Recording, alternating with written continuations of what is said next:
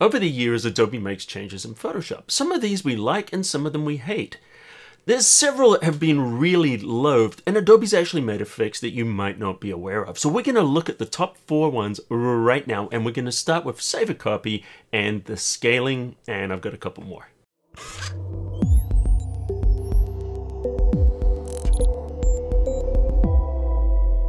So the first one we're going to look at is Save As, how it kind of got messed up, and how to fix it. So we're working in a layered file, and just like we have for years, we choose File and then we choose Save As. Maybe I want to save it as a JPEG. And then I go under the format and notice only four formats are available.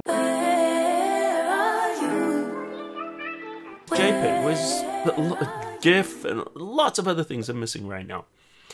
And the reason for that is these are a layered file and those other formats don't support a layered file. Well, that's annoying. So they've basically made that choice for you. But there's a little option right next to it that says save a copy. Ah, so if I choose save a copy, now we have the option of PNGs, JPEGs, and everything else here. And then we can hit save and it will append the word copy. Hold that thought for a second. Let me just cancel. Another way to go there is just to choose file save a copy. So we can go there directly, choose a format, you know, JPEG or whatever it might be, and it will save it. Now it will add copy to the end of the name, which you may not want. So if you like the way that works, then just leave it. If you want to go back to how it was, let me show you how. Choose Photoshop Preferences. And then under the preferences, you want to go down to filing handling. So under file handling, if you just went in preferences, you'll get general and you can click file handling on this side. We got two options. One is do not append copy to file name. So just click that on. What does that mean? So that means now if we choose save a copy, it's just going to do it and you can do whatever you want. This is a pretty good option. Now, the other option is legacy save as. If we turn this on, it just goes back to how it was before. And here we are, layered file, file, save as, and then under the save as, now all the options are available. Of course, you can still use save a copy under file save a copy. Annoyance number two, proportional versus non-proportional scaling. For example, let me choose a layer here. If I hit Control T, we can select this entire camera. And by the way, I created this 100% in Photoshop from scratch. Now, if I want to scale this, notice what's happening. I'm just moving this and it's scaling it proportionally. Now, if you remember earlier on in Photoshop, if you wanted to scale one side versus the other, it would just automatically do this, like this. And then what we had to do is hold down the Shift key in order to constrain the proportions. So now if I want to do non-proportional scaling, I hold down the shift key and I can do that. Now if you want to revert to how it was before, there's two ways. One, with this selection active, which is Control T, Command T for free transform, if you look up in the top, you'll see a little chain link. If I turn off this chain link, look, no hands or one hand on the mouse, now we've got non-proportional scaling like it was. To go proportional, hold down the shift key and you've got that behavior back to how it was.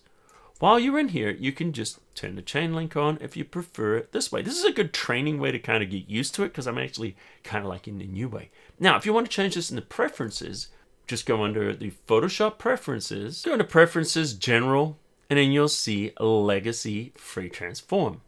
So if I turn that on, hit Control T, everything is non-proportionate, Hold down the shift key and now we've got proportionate scaling again. Alright, so we're going to create a new document. We choose File, New, and we get this enormous new document window, which, you know, has its advantages because it can show previews and it's got all this nice stuff. Some of us just like to keep it simple. So if we go and choose Photoshop Preferences, then under the preferences, this is just the general preferences, we can use legacy new document interface. Now we choose File, New, and then we get this nice compact view, which is how it was for many years before these ginormous uh, interface things became trendy. Now, another thing is when you launch Photoshop, you probably see this welcome screen, and also when you close everything out, you get this big window here. Now, what if you just wanted to go back to, you know, just an empty Photoshop? So, what if you just wanted an empty Photoshop interface? Well, here's a bonus tip right now. When you're in this window, if you want to go there, just click on the Photoshop icon. That'll get you there. All right. Now, if we want to get rid of this, when we choose Preferences, under the Preferences General, we have this option that says Auto Show the Home Screen. If I turn this off, click OK, open a document, and then close it, we stay in Photoshop. Alright, so there's four different ways to make Photoshop leaner, meaner, and more efficient, or just kind of more old school. I'm curious, what do you guys prefer out of those options? Let me know in the comments underneath. And by the way, guys, if you're new here, welcome to Photoshop Cafe.